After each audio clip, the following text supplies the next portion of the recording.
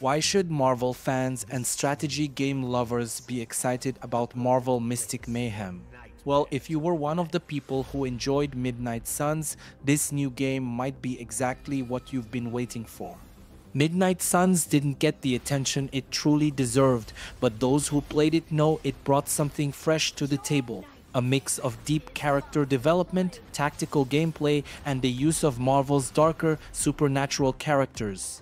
It was the perfect blend of strategic turn-based combat and card mechanics, with each mission feeling like a chance to explore your favorite Marvel heroes in a whole new way.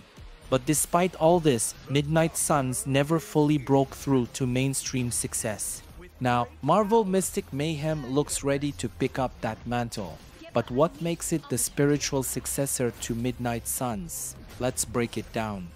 First off, Marvel Mystic Mayhem focuses on Marvel's magic users.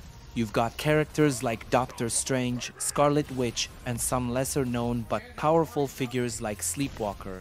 This alone sets it apart from the usual Marvel games lineup. Instead of focusing on big-name Avengers or X-Men, Mystic Mayhem zooms in on the mystical side of the Marvel Universe, something Midnight Suns did brilliantly. And just like Midnight Suns, Mystic Mayhem looks to balance between character-driven storytelling and tactical gameplay. Players will have to think strategically to take down Nightmare, the game's main antagonist who rules the dream dimension. This supernatural element is what really ties the two games together. It's not just about defeating enemies, it's about overcoming psychological and magical challenges, just like the dark battles of Midnight Suns. Now, the game does have a few key differences.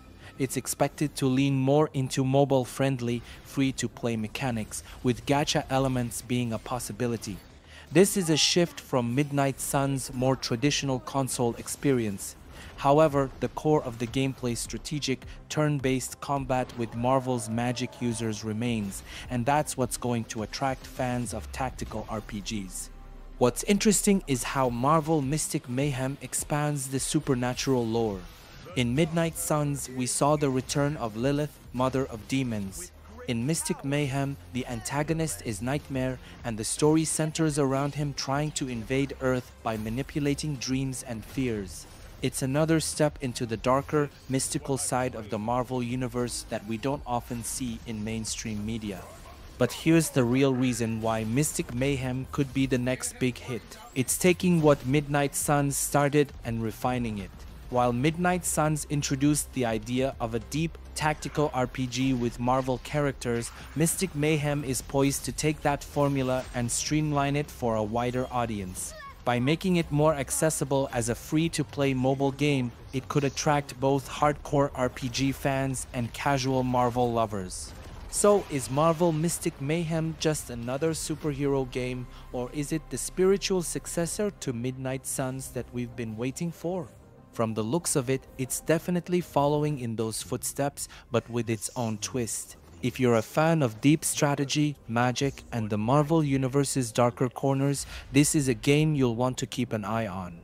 What do you think?